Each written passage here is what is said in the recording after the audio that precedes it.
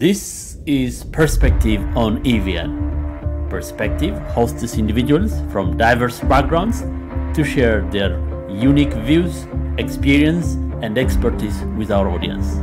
Today, I'm delighted to introduce our guest, Mr. Jeff Pearce. Today, I have here with me Jeff Pearce. Jeff Pearce is a Canadian writer and author of uh, Prevail, uh, which is about Ethiopia, and Winged Bull and the Gifts of Africa. Before we start, tell us a little bit about yourself uh, and your books about Ethiopia. Uh, well, I come out of a journalism background, and originally uh, I wanted to write the story of the Italian Ethiopian War as a novel. And thankfully, that novel never got published because it was terrible. I hadn't done my homework at that time. But the story was so fascinating that I kept researching it to revise the book. And then finally, I came to the conclusion that you can't tell this story as fiction, it's too incredible. Now, all credit to Maaza Mengiste. She turned out a wonderful novel, but that's Maaza Mengiste, and she's a better writer than me. Uh, whereas I want to tell the true story.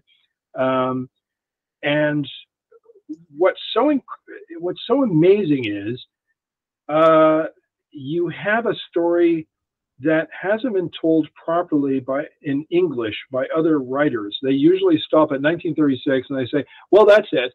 You know, the Italians won." No, they didn't. The actual fact was that the Ethiopian Arbegnoch, the Patriots, were fighting right in the hills and mountains above Addis Ababa on the very day the Italians came in. You had heroic actions on the part of young women and men in the resistance and the Arbegnoch uh, through it. And of course, you also had great tragedy, as uh, hopefully um, Ethiopians are learning. The Italians used concentration camps they used uh, uh, poison gas. They bombed Red Cross hospitals. Um, they committed atrocities which never saw a war crimes trial.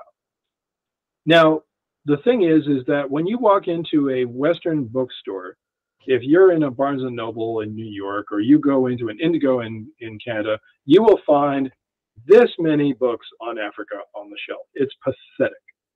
And the stupid thing is, is because white Western publishing likes tales of tragedy about Africa. There's hardly any happy stories. Prevail is a story where the Africans win, where the Ethiopians win.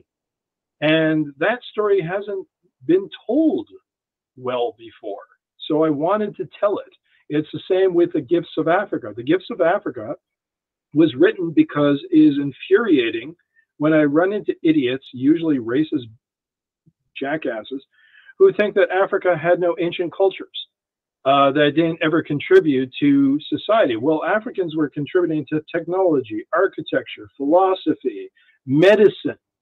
There were cesarean sections being performed in Uganda in the 19th century uh, with anesthetic or a type of it, crude anesthetic.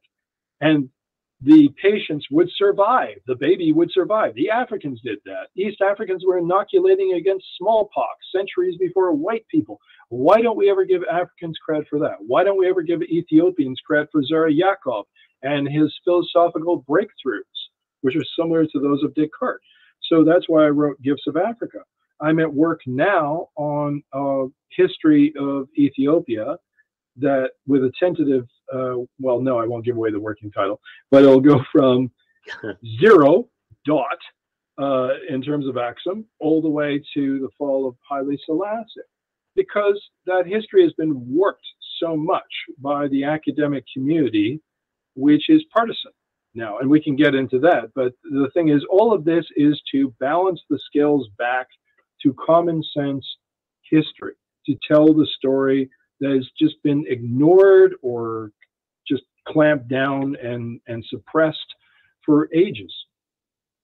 What were uh, the favorable conditions at the time that helped Ethiopians to mobilize against uh, the Italians and win the war?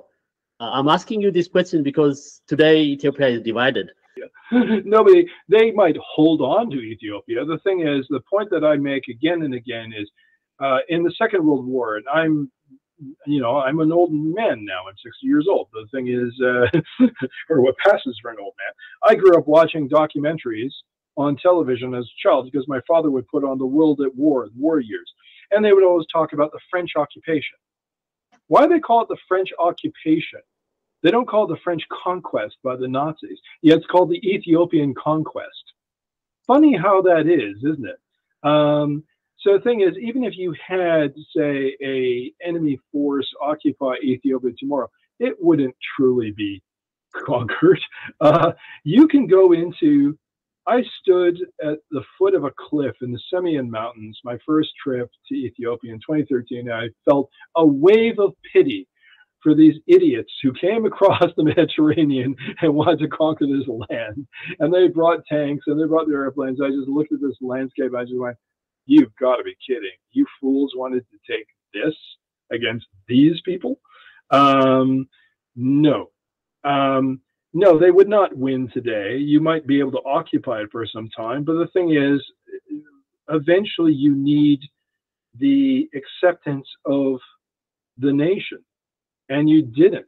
The thing about France was Fran- France had e- enough divisiveness in it that you had Vichy France, and keep in mind when the um, French police were rounding up Jews, they barely had German soldiers guarding them.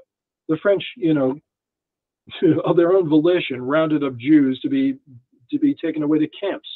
Um, contrast that with Ethiopia, where the concentration camps, most of them were outside Ethiopia. They trucked them off to uh, to um, other spots in Somalia and Eritrea. You know, can you imagine the the the it, for the entire five-year occupation, you had Arbegnoch and resistance.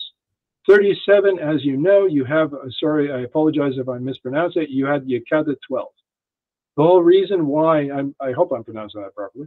Um, you're nodding, so I'll take that as a yes. Um, yes. You you had the two young people forget. Ian Campbell did a fabulous book on this the plot to kill Graziani with the grenade attack was not just the two young Eritreans, that was a whole group of resistance fighters who worked to do that. And when they did the massacre, of course, uh, this uh, also just just in, in, just uh, acted as a motivation for more actions on the part of the Arba to go, okay, you're going to start to slaughter us like this. Well, all right then, it's on. Okay. Mm. Yeah. Uh, as you know, Jeff, uh, Ethiopia is today suffering from the consequences of ethnic division. Uh, when the Italians came to conquer Ethiopia, they also introduced, you know, ethnicity by dividing the nation along ethnic lines. What's the parallel between the current ethnic predicament and uh, what the Italians did? Well, I'm going to handle this in the new book. I want to be fair and forthright. I did not go into the ethnicity issue in Prevail. Uh, originally, I thought my audience would be African American, so trying to parse the ethnic shades would have been a little much to lay over in, in terms of that text.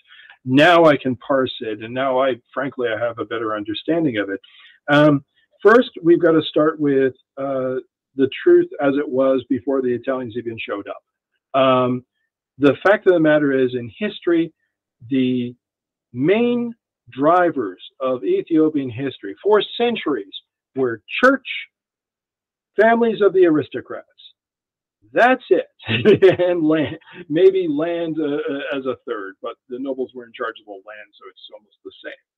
Nobody cared about the ethnicity to a degree. Yes, of course, you can say that uh, when the Oromo came, uh, in terms of the Oromo migration, which some of your viewers will know about. Um, yeah, uh, Bahrey, who was the medieval scholar, was uh, talking, uh, discussing the Oromo migration, looking at society, going, "Oh my God, what the hell is happening to us? Like, come to this. What's?"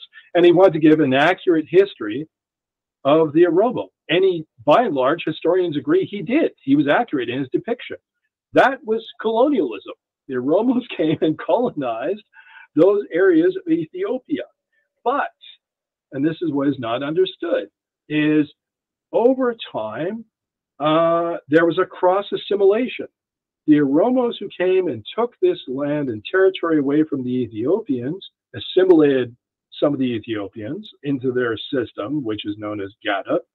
Many Ethiopians resisted. They didn't like this. They didn't want to be part of the system. On the other hand, you had Ethiopians assimilating Oromo. So you had Susenyos, uh, who was kidnapped. Uh, whether he did, whether he was taken as a child or a teen, depends on the sources. But this guy spent time among the Oromo. He learned how to fight like an Oromo. He learned the Oromo language. He learned how to. He learned their tactics, and he was a noble. When he got returned, which was an exciting episode of itself, um, this guy went, "Oh, well, I'll use this that I learned," and he as he did conquest, he resettled Oromo communities as buffer zones around his realm. He shifted people about. You can't just look at the history and go, oh, well, it's always been ethnic hatred by and large. He had Oromos on the throne in the 1700s, speaking Afan Oromo at court. So this gets into this nonsense that's being perpetuated now of so called Amhara dominance. Uh, you know, just the other day, there's this stupid video that goes out by these idiots, and they said the Amhara uh, under Haile Selassie and the Derg, Amhara were, uh, I'm paraphrasing here, they were saying the Amhara were at the top of the ethnic heap. Well, who do they think the Derg were killing? The Derg killed about 60 nobles and officials into their reign and who do you think those were? Those were Amhara, Tigrayan, Shoan aristocrats. So those were the ones they chose. And Oromo as well. And Oromo as well. So the thing is, they were killing people. They had a Marxist agenda. So even to try to uh, overlay an ethnic template onto the Derg is ridiculous.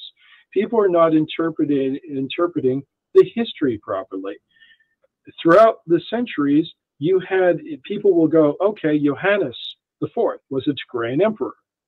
Uh, Haile Selassie was an Amhara emperor with partial Oromo ancestry. His mother's uh, uh, father, I believe, was of Oromo roots.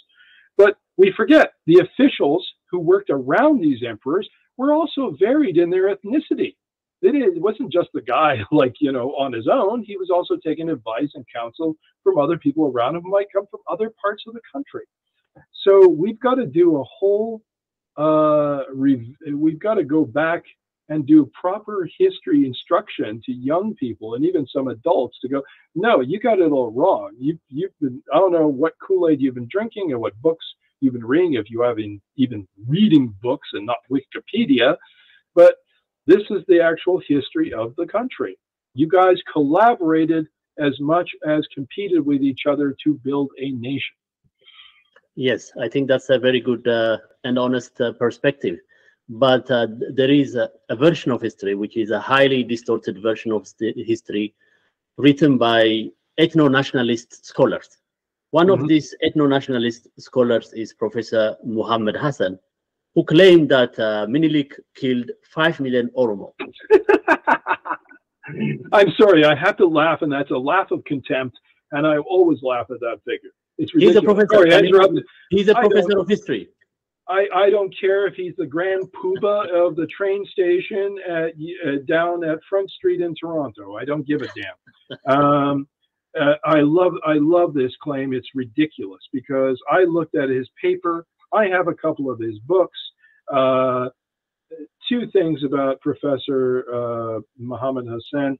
One, um, it's not just me. I believe it was Christopher Clapham who did a great paper on his book uh, of Oromo and pointed out that he's very selective in the time periods that he chooses to write about. He just skips over certain areas which don't fit with his thesis. In terms of the five million being uh, murdered, it's ridiculous. His sources for this are, are, are two. One is a fellow called de Salviac, who was traveling around, the, who was in the country at the time. But where does he get this figure from? De Salviac was guessing would he ride around on a mule and do his own census? Where does he get this figure from? How are you going to get 5 million Oromo he, uh, uh, being uh, uh, in terms of a genocide? That means there were 10 million Oromo in Ethiopia at the time. Yes. Well, let's think it through. Okay, that 10, 10 million Oromo and then half a million got murdered. What does that say also about the population figures of the other ethnic peoples that were there? okay. Two, uh, it's, it, if, if 5 million had been slaughtered, we would find them. there are as as late as as the early part of the 20th century, Wilfred Thesiger, the explorer who went off and explored the Arabian sands, who was born in Atukul in Ethiopia, which was the first British embassy because they didn't have a building. He went exploring and he found um, uh, bones and skulls from uh, the battle that decided uh, uh, fate. Um, you know, he was still fighting the the the corpse, uh, not the corpses, but the bones and skulls from that battle. Now, if he could find those, where where is the five million? There was a travel writer who, after the massacre of Debre Libanos, uh, was traveling the country in the 50s, and he looked over the side of Debre Libanos and found skulls and bones scattered below. Do you not think that archaeologists would be able to find these 5 million now? We have the University of Gondar researchers who have found the trenches and sort of concentration camp complexes that the TPLF put Amhara in in the late 80s and 90s. They're uncovering these in Wakai, yes? Yeah, in Wakai. So where is the? You're telling me that they couldn't find the five million? We would be tripping over them. You know, uh, you Yeah. know, You know, it- it- to my wonder, there wasn't even so many battles, you know, that could have been responsible for this disease, which amounts to 5 million Oromos. Well, not only that, but the thing is, okay, we can, uh, let's be fair. The fact of the matter is, Menelik was conducting southern campaigns. He did it on the justification that he was taking these lands back. There is no, there should be no dispute that certain cruel methods were done. Bulatovich, a Russian, describes how at one point the, the Ethiopians were hunting some people for sport, and he has no reason to lie. So there were things being done. But by the same token, if we can find ancient Ge'ez manuscripts, if we can find ruins of, of ancient structures, let's discuss how many were perhaps uh, slaughtered when the Oromo migration moved up north and took lands. Do you want to? Do you really want to open that back and forth? You know, if you're going to claim a genocide, it cuts both ways. So you know, I'd love to. I'd love to have that debate. you know, this is this is ridiculous because um, we were talking privately yesterday, and the thing is, I have at my feet. I'd have to dig it up now. A copy of uh, Oromo De- Democracy by Asmarom Legesse, And the thing is, he talks about Oromo conquest, and he was very forthright about that. But and then he, in later in pages, will describe how Gobena was some kind of feudal sellout uh, as an Oromo. But he and talks about colonialism, but he does not make any comparison the fact that basically the Oromos were colonizing Ethiopian territory. It just happened to be centuries earlier. Why don't we ever? Why doesn't anybody be honest about that fact? So Well, uh, you know, uh, when uh, we try to leverage history to advance political it, it's usually tragic. And uh, as you know, there is uh, uh, there are so many distortions uh, told about uh, the Amharas. Uh, you pointed out earlier that uh, the Amharas were dominant. There was Amhara hegemony. I have read history as well, but I haven't found any evidence of Amhara hegemony because these kings and warlords were a small group of people. They don't represent the Amhara people uh, as such. But, uh, they claim that the, there was Amhara hegemony before the TPLF liberated the nations, quote unquote, nations and nationalities from this hegemony. Well, first of all, it's ridiculous. And the thing is, I went, the trouble is, is especially for an outsider like me, I have to wrap my head around it because it's not my culture. And I've been as candid as I can be that I don't speak the language. But the thing is, I even went to a, um, a well respected ethnographer whose people would recognize their name. And I said, Look, I'm having trouble this, with this because I'm trying to wrap my head around the culture versus the generalized, um, say, acceptance of the language Amharic which is sort of the way we speak about the English language, but there's the English people. My last name is Pearce. My roots are in are in England. My grandfather was British and he grew up in in Stratford upon Avon, and you know he married a girl from Birmingham. But the thing is, that doesn't make me English. Yeah, we're speaking English now. Uh, so how do we parse this in terms of Amhara and to Tigrayans and all the rest? And his answer back, which I've uh, also found validated by other academic work, is by something like the 10th century, the Amhara and the Tigrayans were virtually indistinguishable ethnically as a people. What mattered was the different languages. And as you know better than I do, there's not just Tigrayan language, there's Tegru, there's other other dialects in Tigray. Um, so now you go, okay, well, what makes an Amhara an Amhara?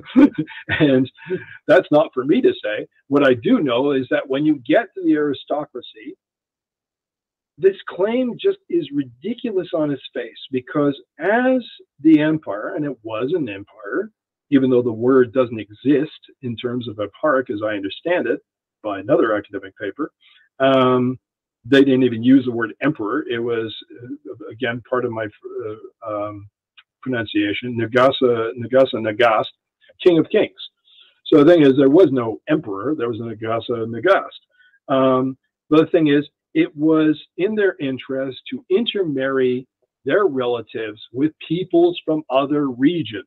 You tie the family together then these guys wouldn't want to fight you because hey, I'm married to so and so's like sister, aunt, cousin, whatever.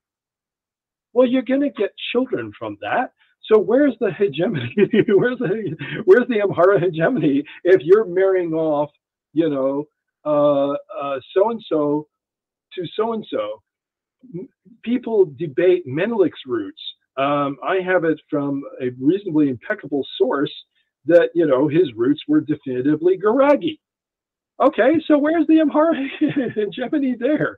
Uh, as we mentioned before, Haile Selassie's mother was from Wollo. Her father was a Robo. Her mother was, I, think, something else, maybe Amhara. So now you got mixed there. Where are we getting the Amhara hegemony from? Where does that come from?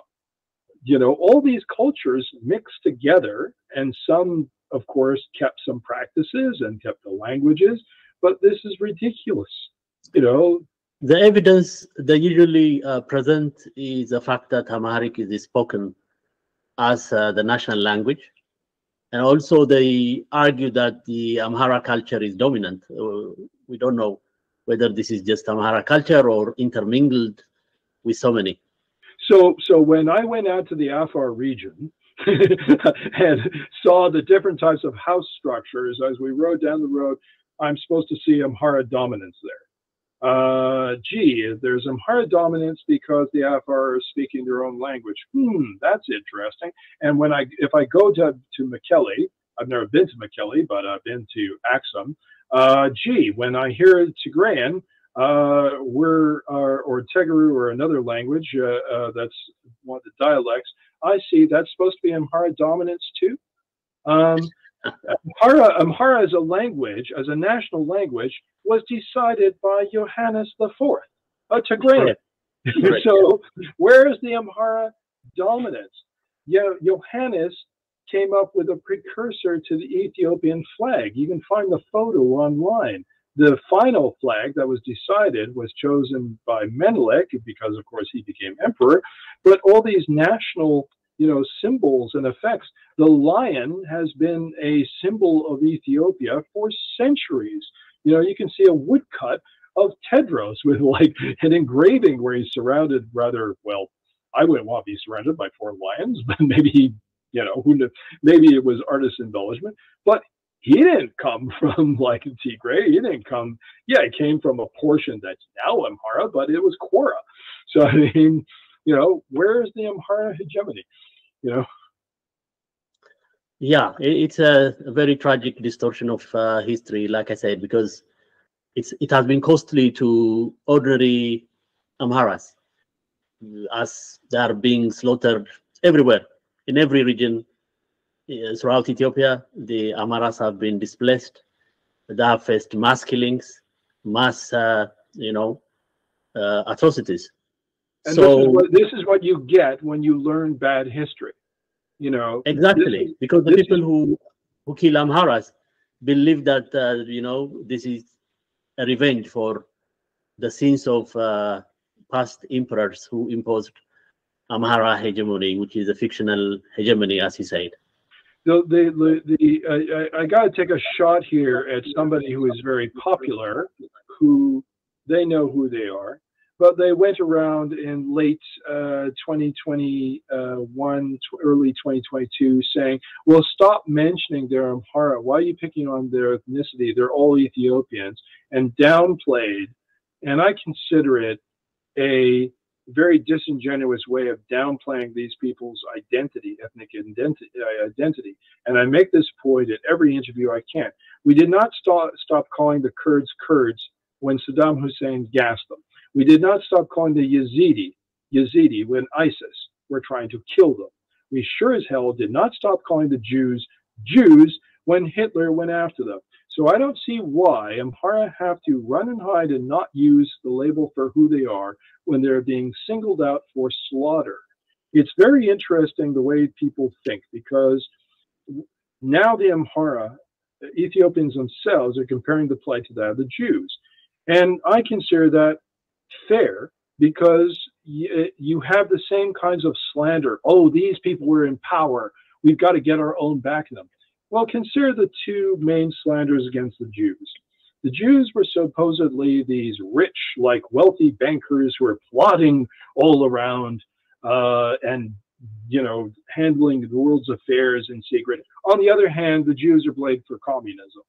Well, which is it? are you a Marxist? Are you well? It doesn't matter. Either way, you get slandered. So the thing is, for the Amhara, this ridiculous claim of going, oh, we're getting our own back because the Amhara dominated us for like centuries. Prove it. Show this to me. Show me the evidence. And then we can talk about, I'm, I, again, I apologize for my pronunciation. Then we can talk about Iyoas, Iyoas, who was the boy king put on the throne. Ras Mikhael was invited down by his his relatives and becomes the strong man and brings his Tigrayan advisors. and you had to have a coalition of Ethiopian armies take Mikhael out. And some of them were Tigrayans. So people don't know the history of what was going on. As I said, you had Oromos on the throne. You know, you you had the Yeju dynasty, and I can't yes, pronounce, yeah yeah, you can't. I can't pronounce the Oromo word. I haven't learned the pronunciation. There are academics who have pointed out it's more accurately called by.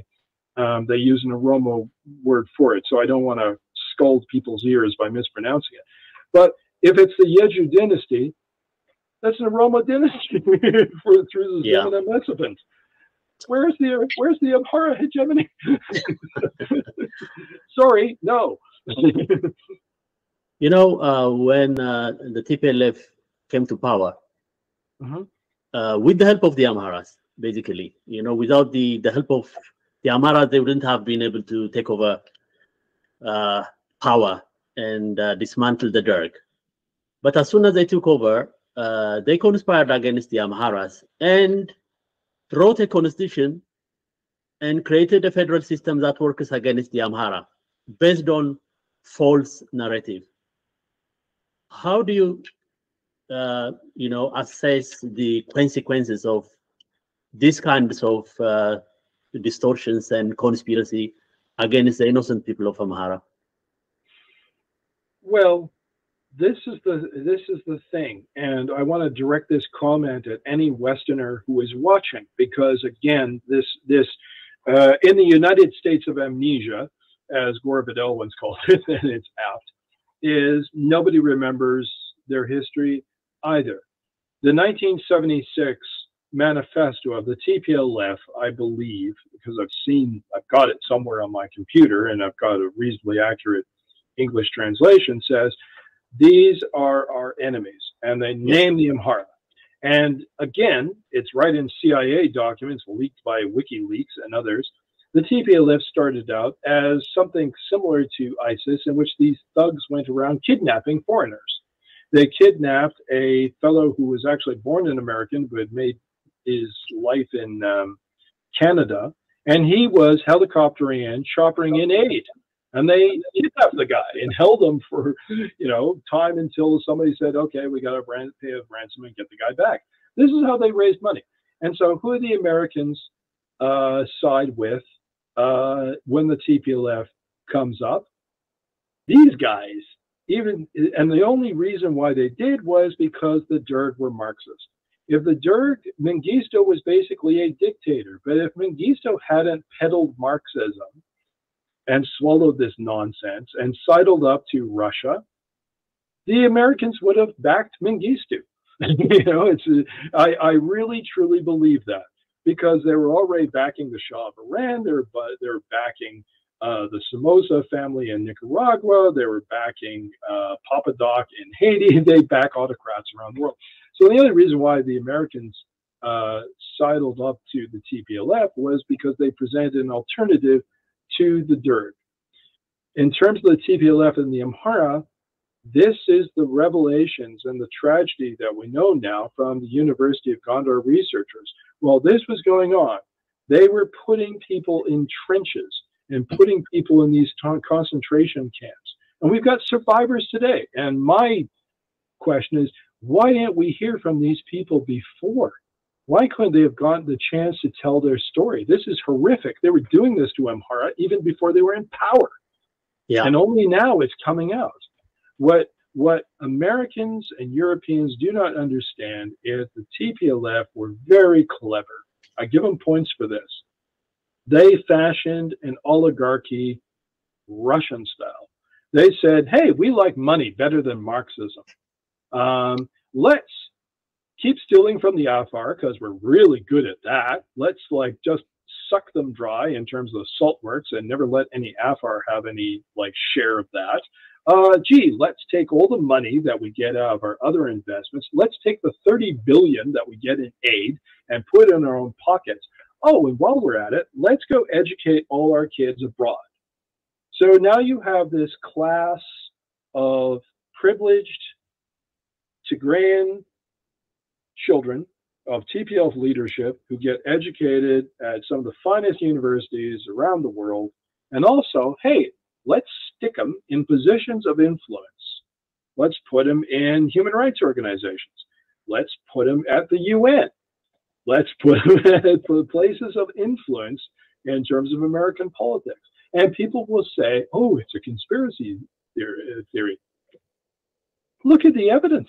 look at the evidence of what they did. It's this is not to um, attack the Tigrayan people because when you look at Tigray, it's still poor. The TPLF never helped their own common kind. They just formed a new aristocracy and rewarded themselves. Yes. Tigray is still poor. Tigray still suffers. You know. Yes, ninety percent of the people of Tigray are now on food aid. Yeah, and when they protest now, today, um, the TPLF come out and beat the crap out of them and want to suppress the videos coming out. The thing is, I uh, I want to inject this, and I hope you'll include this in your recording because it's a very important point.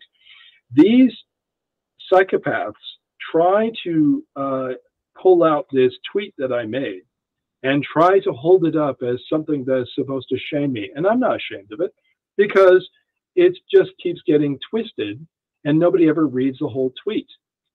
During the war uh, between the ENDF and the TPLF, uh, when things were at a certain point, I I pushed the idea of a humanitarian corridor for innocent Tigrayans to be able to leave the region so they could get help, so they could get aid. I wrote right in the tweet. And also, I wrote at this in the same tweet. I wrote for you know basically those who don't want to get away from the TPLF should get a humanitarian corridor. The rest, you can eat stone. You know, basically it was a, gigantic fu. All they ever do is concentrate on my saying eat stone. Well, here I'm going to double down. You can, you bastards can still eat stone. But as far as I'm concerned, innocent Tigrayans should be allowed to get to the aid and, and stop stealing it. Because we know who's stealing the aid. It's you. you were stealing it in 2021. You were stealing it now in, in 2020, stealing in 2022. Now you're stealing again in 2023. Yes, some of that could be diverted by uh, Abiy's forces, but funny how when the accusations go in Western media, it's the Ethiopian government is responsible, and they never look at the Tigrayan regional regime that's been put right back in power by the Pretoria Agreement. So I need to get that in there because it's important to understand these people are also a victim of this regime as well. Tigrayans are as much victims as anybody else. Victims of the TPLF or? Yeah. Victims, uh, the, the Tigrayans are as much victims of the TPLF as everybody else. You know, the right. only difference is they're not uh, they're not putting the Tigrayans in concentration camps that we know of yet. That time will probably come as well. Despite the fact that uh, you know the TPLF committed uh, mass atrocities in Walqait mm-hmm. and mm-hmm. Raya, the State Department, especially uh, Secretary Blinken, is pushing the Ethiopian government to return Walqait or he calls it Western Tigray, to the TPLF. What do you say about that? What What's your view on this? That's what I have to say about this. you know, the hilarious thing is you have this. Uh, uh, I apologize if I got this wrong because I try to have manners even to the enemy, but I believe this fellow is um, is he's one of uh, Martin Plaut's uh, little circle. Um, this geographer, Jan, what's his face? I think his name is, and he keeps pulling out all these European maps to pretend that Western Tigray was always part of Tigray. And one of these maps is a map done by the fascist Italians, which be which would be like saying, "Hey, let's check the geography of Poland according to Nazi charts." You know, logic there. you know, I mean, the traditional border of Tigray, I believe, was the Tekeze River. Yes. Yes. Right. so yeah. I mean, what? So like, why? Why would the ancient Ethiopians and through the medieval period ignore the fact that here was a natural boundary? Here is the Tekeze River. That's and throughout time, rivers have acted as natural boundaries, not just in Africa, but in Europe. So this guy wants to say, but here's this map and here's this map by Westerners, by Europeans. And my reaction to that is, who the hell gives a damn what the Europeans did? Let's go by what the Ethiopians did. And it says, and even if you want to go back to a European source, I have a source text that says explicitly this was the traditional border that they recognized. So if you're going to pull in all these European sources, I can pull in mine. But frankly, I'd rather give priority to what the Ethiopians say about their own country, as opposed to what some schmuck from Europe has to say about it. Now, when we come to Blinken, yeah, Blinken thinks that uh, if Blinken is pushing this, well, Blinken is, in the words of a old old um, uh, British civil service worker uh, that I met, Blinken is a man who keeps pushing on doors marked pull. I don't have much. I don't have much respect for his intelligence. I don't think he's particularly smart. Um, I think he's a errand boy for the uh, Democratic White House Um, keep in mind, Susan Rice and all these other cronies were pals with the TPLF. That was the whole point. When a source brought me that video, they did their damnedest to try to downplay the fact that their diplomats were conspiring with the TPLF. Yeah. And, and you can see for yourself. And there's even a Oxford scholar who's right. Oh, I've watched this, and this is nothing. But he's not a diplomat. And he, he, he well, they're retired diplomats. As anybody knows, I thought, what are you, five years old? anybody who knows anything about diplomacy knows that frequently retired envoys and diplomats are used for back channel negotiations. And as a matter of fact, two of the Americans who were on that video were still doing work for the State Department. So this has yes. been going on for a while in terms of trying to give Walqait back to their buddies. It ain't gonna happen. And even if they say it's going to happen, you will have resistance like you've never believed. These are these people's homes. You know, yeah, this, this begs the question why the U.S. government, which had once labeled the TPLF as a terrorist organization uh, in their own mm-hmm. documentation, wants the TPLF to take over again. It's uh, mind-boggling. Uh, to the best of my knowledge, it's still on the legal books as a terrorist organization. What they did was they passed a law which is similar to, say, what you have with gangs, criminal gangs, in which because of course some especially in prison you can be forced into a criminal gang. So their way around it was to say oh that person who's applying for citizenship for asylum here is not really a tplfite even though he is. They'll, they'll claim that. I don't uh, i will confess that i don't know the legal status of that law at the moment but the last i checked it was still on the books. Um, but uh, the american the americans are much like the brits and they they act ba- on the basis of political expediency. What other country? Um, you live there. What other country would you have where you, a journalist and an American citizen, can walk into a consulate in Istanbul, be murdered, have his body chopped up, and yet the president of the United States will go meet with the guy who's head of that government of Saudi Arabia. And everybody makes nice with these people, which brings us to another issue. Why, in terms of the Eritrean protests, why is this being allowed to continue? Be- because you have mobs of thugs who are attacking a cultural festival, who are attacking consulates. And I am no fan of the Eritrean regime. I'm on record for that. But since when do we reward violence for for just because you happen to be on on the right side for now of politics? Are we going? China has a, a punitive regime. Does that mean we can go attack acrobats who are touring from, you know, a, a, Chinese circus uh, that come to town? Uh, does this mean that we should go attack Arabs in the streets if you have like Arab uh, an Arab festival? Oh, well, let's go attack them. And somehow this is being blessed by the likes of Martin Plaut and uh, Kjetil Tronvoll, who say, oh, the worst is yet to come. They warned the authorities in Israel, so it's their fault. Um, and where I'm going with this is they're trying to demonize Eritrea because they want to isolate Eritrea and they also want to isolate Ethiopia and make it more malleable and and and to be influenced more. Um, take away Eritrea, and now the Amhara will not have any kind of ally to the north that they can work with. I can bash the Eritrean regime all the live long day. There's plenty to discuss there. But I yeah. do not believe that we should be applauding when thugs go put an old man in hospital, as they did in Toronto when they attacked the cultural festival there. And what's more, as you and I both know, a good portion of those people doing it are ethnic Tigrayans. They're not Eritreans at all. So this is TPLF in action, still mm-hmm. acting as terrorists. So this uh, circles back to your point in terms of Blinken. They're still terrorists. Yeah, exactly.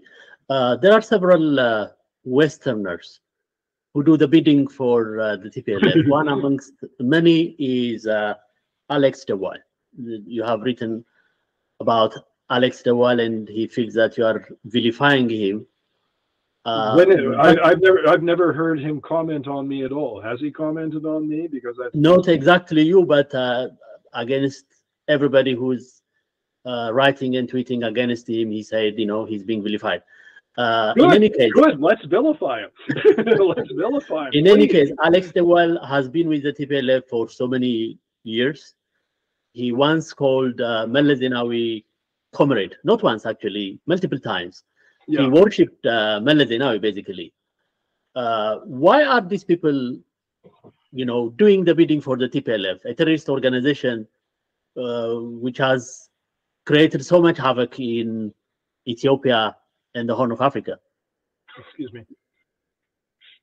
Um, Alex de Waal is a Alex de Waal is a special case. Alex de Waal is so I'm getting feedback through my through my earpiece. Is that me or you? Is that my fault or yours? Sorry. I, I, I don't. Yeah, maybe. It, and now it stopped. I think it might have been my fault. Sorry. I'll start okay, again. All right, go on. Um, Alex de Waal is a special case. Others might be acting out of white savior idiocy in terms of not doing their proper background on the situation. And the thing is, uh, I'll put in a, a qualifier here. You are my teachers. All of you are my teachers. If I get new information, I change according to the new information that I have. I'm not proud. The thing is, it's important to keep an open mind and change things. Uh, when it came to Abiy, I never had an opinion because I can't speak Amharic, and that wasn't the point. We were supporting Ethiopia against a terrorist army that was attacking the country. It had nothing to do with Abiy.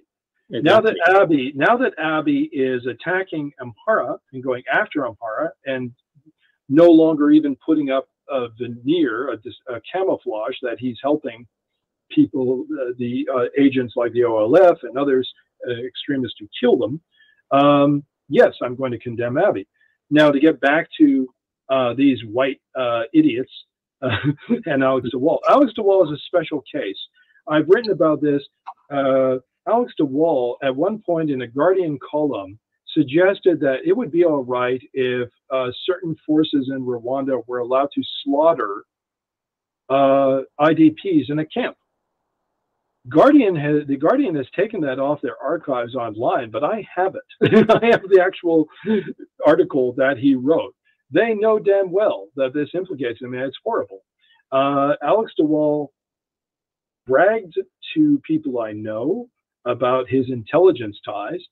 Uh, he may know, you know, he likes palling around with intelligence uh, uh, operatives and administrators. So I don't know what's going on with that, but there's evidence for that. Alex de Waal likes to stick his nose into African affairs all over again again and again and again.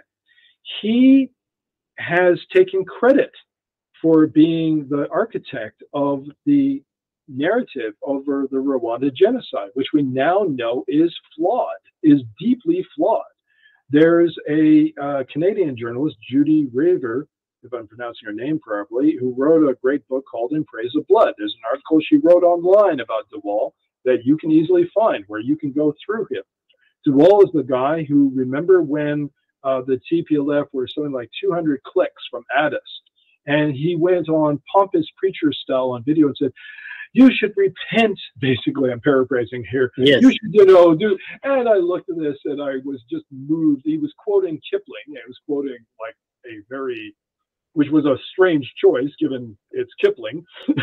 yeah, know. he was saying that uh, the Amhara hegemony will not come back. You know, I was wondering, you know, what uh, he wanted to mean about Amhara hegemony will not come back. Well, he he was he was doing this whole broad brush that that that characterized us all as thinking that we were trying to return Ethiopia to the glory days of monarchical, you know. and I'm looking at this going, that's not what we're after at all. And my biggest problem with Alex de Waal is he's a big fat liar. Uh, when you look, uh, uh, there's a CBC story, our Canadian network, Canadian Broadcasting uh, Corporation, They did an online story where they quoted, they practically plagiarized the line of Evil Days, which was his take on the famine uh, uh, that was from decades ago. And because he was an official with Africa Watch, which was then part of, which was Human Rights Watch. And he lies. He lies in it and claims that Haile Selassie was trying to cover up the famine. As you and I both know, Haile Selassie, if you want to fault the emperor, the, the emperor was largely in the dark. His officials didn't let him know the true extent of the famine. This can be shown. This can be demonstrated. So he lies about that. He lied about his pal, who was uh, with him at Tufts, who went off and was with the TPLF in uh, Tigray, who claimed that he was off in the countryside. No, he wasn't he was walking around Mekelle. you know, he had a probably a sat phone that he was talking on because he and the guy claimed he was working with an old-fashioned ham radio. Well, that's cute because yeah, in, in, in one of his accounts, he said that he was moving around with the TPLF and uh, talked a lot with Meles Zenawi, whom he referred to as uh, a walking or a moving library.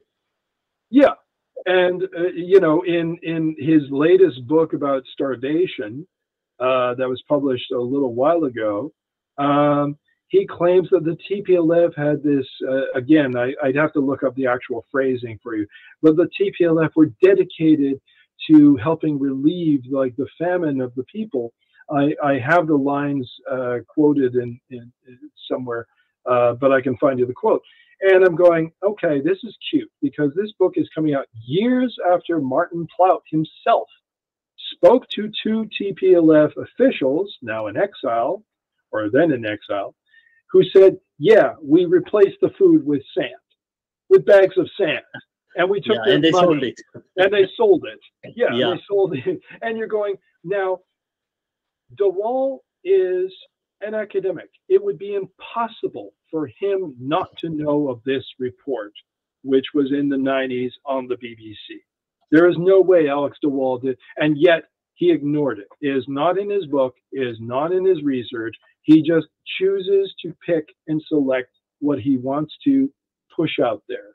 Um, and Martin Plaut, uh, who I'm very sad to say was once a great journalist and once a great advocate for African veterans of the Second World War, he's done the same thing in his book, understanding uh, the Tigray War, um, it's sins of omission. He just chooses to to just omit what doesn't fit the narrative. His co-writer Sarah Vaughan writes a history of Ethiopia, which you're just look, reading this, going, "What parallel universe have you written this in? This is nonsense."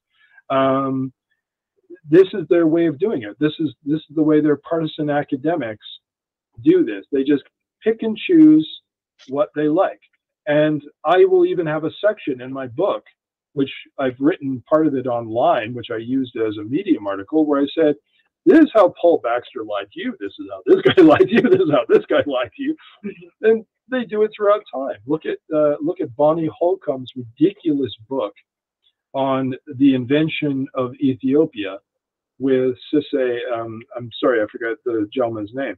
He's passed on.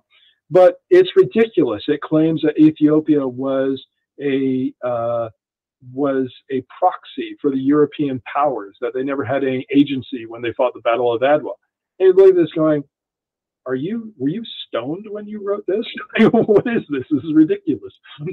and you can you can cut it down many ways, but this this book is now quoted. This book has found a new life. It's incredibly dull. My God, it's dull um, but it's found a new life by all the TPLF and OLF partisans. And it's nonsense. Alex de Waal is uh, the director of uh, the World Peace Foundation at Tufts, Fletcher. Yep. Uh, I'm wondering if this is a cover because what he's doing is not academic. Uh, and even if, it, if he claims that he's doing academic work, it, it must be a highly dishonest version of uh, academia. Uh, so, well, they, they tried. You remember they tried. There are protesters who tried to get him kicked out, and uh, I don't agree with that kind of tactic. because that's the kind of tactic that was used against Jon Abbink and used against Ann Fitz-Gerald, two respectable academics who have done fantastic research and work. And they just, uh, the TPLF trolls harassed and went after them again and again and again, trying to uh, get them booed out of their jobs uh, in the same way that they tried to harass me. So I don't want to see these tactics used against DeWaal. What I would prefer to do is expose him, expose him for yeah, what but he what, does. what I'm what, what I was trying to say was that if I, I went through the website of this uh, World Mhm. Peace Foundation, it's mostly Alex Yeah. DeWaal's Propaganda. yeah, uh, propaganda. which have been pu- published. So I was wondering what kind of academic work he's doing because academic research should be based on the truth. Sure, but what's really disturbing is that um, you have just uh, uh, the intellectual standards have gone down so low that it's ridiculous. Um, you know, he can get published. He got published through 2021 and 2022 by the London Review of Books, by uh, the Guardian, by uh, uh, the new, by BBC. Yeah, BBC. You could rattle off a whole list. I've got a whole list of publications that he appeared in. He was their top cheerleader. And these publications not once ever questioned the fact that this guy has made no secret of the fact that he's affiliated with a terrorist group. They still published him because he's a professor. At the same time, The Guardian, uh, I've, I've I've gotten some flack for this online, not too much, so I don't really give a damn. But Lucy Kassa, who was in the pocket of the TPLF, churning out articles promoting uh, their cause, suddenly switched sides, uh, wrote a couple of critical articles of the TPLF, and now she's covering the Amhara genocide. But the same thing is, and I'll say this point blank, um, I am very suspicious of how she does her job because when you look at the quotes, Nobody talks like this. Look at the recent Guardian article and look at the quotes of the people. Nobody speaks like this. They speak in these perfectly composed sentences which hit every point. And I would, it's very convenient because, of course, she can say, well, I have to keep my sources anonymous. I Yeah. really would like, I would really like the editors of The Guardian to go produce your tapes produce your, your recordings and we're going to have them independently authenticated in terms of translation because yeah, we as far as uh, that story is concerned, you know, the story, the story uh, on um, Majete massacre, we were the first to report it actually. Uh, yeah But the Guardian published it as uh, exclusive, which, which is ridiculous. yeah which is you don't exist in their world they have yet to ever they have yet to ever acknowledge Jemal Countess was not the first reporter there but he was one of the first and he went there for Getty Images and he discovered uh, in terms of talking to the locals that the ethnic cleansing campaign was already starting just days before the November 3rd attack. Uh, he stands by his reporting. I went to Mai Kadra later. I have the dubious distinction of perhaps being the first English language report, television report ever from that site. And I had two reporters with me who were both Ethiopian who interviewed the massacre victims right there. Where is the, I don't give a damn about me, uh, where is the attention to that? Why is my footage, why are people not acknowledging and going, hey, here are the victims speaking on camera, right on television camera? And you had Netsanet Laku of Belageru TV. He interviewed the, these people. Why is he not being celebrated as one of the first reporters to ever talk to the Mai Kadra victims? Why isn't why didn't the West jump on that? Why Yeah. did the West why didn't the West jumped on the story having to do with two UN whistleblowers and they did their best. It's very interesting that when my uh, when my um, uh, recorder my recorder which was this model this is the re- sorry uh, it was this model this is the replacement that I bought with ECNAS and APAC money to reimburse me. Um, they never once, except for one Western news operation, came to me late, ever asked me a question. Not once did they come to me, and I'm the guy who did the original interview. This is this is what they do. They have their agenda of how they're framing the story. Uh, some uh, uh, activist, human rights worker activist on Twitter today. Uh, I don't want to mispronounce his name. Yagaro Yegaro. Uh, he follows me. I follow him. He's saying, "I am disgusted." I'm paraphrasing. I am disgusted that Amnesty and Human Rights Watch are not paying. They're they're going on about Tigray, but they're not paying any attention to Amhara. Yeah. Where are they? Where are they? Where is the world in terms of paying attention to the plight of the Amhara today? Yes.